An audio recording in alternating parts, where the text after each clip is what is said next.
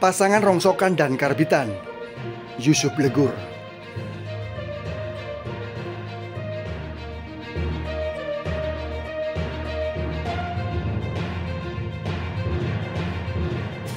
Capresnya ibarat barang rongsokan, cawapresnya bagaikan barang karbitan.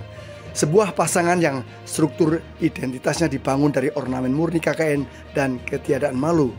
Sialnya, NKRI selalu dipimpin oleh orang-orang yang menjauhkan rakyat dari cita-cita kemerdekaan. Terlebih selama satu dekade ini, di mana konstitusi dan demokrasi dibajak hanya untuk mengubah penjahat menjadi pejabat, tampil seolah-olah terhormat dan bermartabat, namun sesungguhnya bermental dan berperilaku bejat. Kapitalisme dan transaksional politik telah mematikan nurani dan akal sehat, tergusur oleh sahwat kekuasaan. Negara sebesar Indonesia menjadi miris dan ironis saat dikelola pemimpin berjiwa kerdil. Kekayaan alam yang berlimpah dirampok pengelola negara yang korup Sebagian lainnya dihibahkan kepada negara dan bangsa asing melalui undang-undang yang direkayasa, juga tidak luput atas nama investasi dan utang. Rakyat semakin dieksploitasi, diperas, dan direndahkan kemanusiaannya. Menjaga kesinambungan kekuasaan yang distortif dan destruktif, rejim menjadi diktator berbalut demokratis. Pemerintahan terburuk dan zolim sepanjang Republik berdiri merekayasa konstitusi dengan tangan besi pemilu dan pilpres menjadi pintu masuk menuju kekuasaan politik dinasti dan hegemoni oligarki. Dari negara demokrasi menuju monarki, dari religi menuju liberalisasi dan sekularisasi, apa pun istilahnya, negeri ini dikuasai rezim dinasti dan oligarki. Seluruh sendi kehidupan masyarakat diserahkan ke pemilik modal dan aparat memperkaya segelintir orang sambil memiskinkan rakyat menjadi watak pemerintahan yang represif. Pilpres 2024 yang harusnya menjadi momentum sekaligus tonggak sejarah kebangkitan bangsa tetap tidak luput dari anasir rezim hipokrit dan sakit seolah-olah menjaga kesinambungan pembangunan padahal sesungguhnya memelihara kekuasaan berkepanjangan Pilpres 2024 dibangun dengan konstruksi kecurangan. KPU dan MK menjadi alat taktis dan strategis kepentingan rezim yang bulus dan picik. Sebagian partai politik, birokrat, dan politisi menjadi ternak oligarki.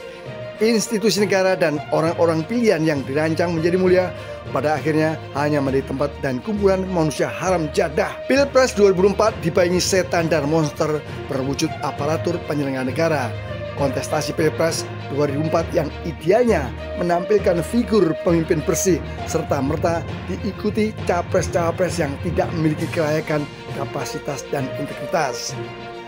Hanya ada satu pasangan yang memiliki rekam jejak, rekam karya, dan rekam prestasi yang mengusung perubahan. Lainnya dibalut sederet persoalan termasuk terlibat KKN dan kejahatan HAM. Mereka melenggang tanpa malu menjadi simbol kebobrokan penyelenggaraan negara. Lebih menghina, merendahkan ada paslon yang memaksakan kehendak dengan merekayasa konstitusi. Mereka ada barang rongsokan dan karbitan.